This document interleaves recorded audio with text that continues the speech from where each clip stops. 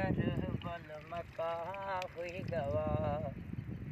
बोली जैनाब कर बल मका हुई गवा। भोली जैनब कर बल मका हुई गवा। बोली जैनाब कर बल